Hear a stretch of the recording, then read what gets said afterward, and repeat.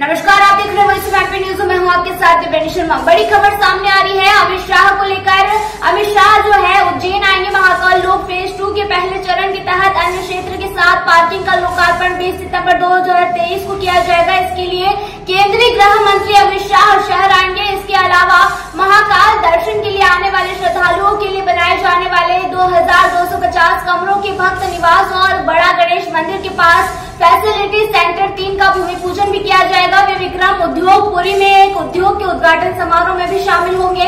विश्व प्रसिद्ध श्री महाकालेश्वर मंदिर में इन दिनों बाईस दशमलव पाँच शून्य करोड़ से धर्मशाला, प्रवचन हॉल और अन्य क्षेत्र का विस्तार किया जा रहा है, जिसमें जो है भोजन कक्ष की क्षमता अस्सी हज़ार से एक लाख भक्तों के साथ ही वीआईपी भोजन कक्ष लगभग 50 भक्तों के लिए है।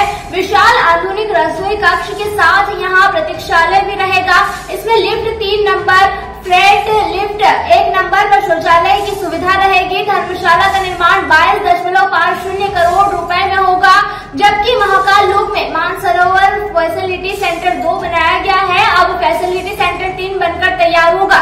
यह फैसिलिटी सेंटर तीन बड़े गणेश मंदिर के पास अन्य क्षेत्र वाली ज़मीन पर बनेगा।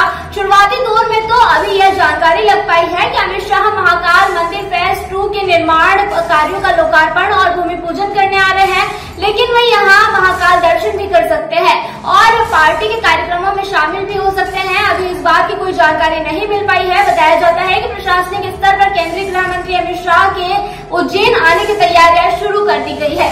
अब तक के लिए सिर्फ़ इतना ही। आगे की तमाम जानकारी और अपडेट्स के लिए बने रहिए वॉइस ऑफ़ के साथ।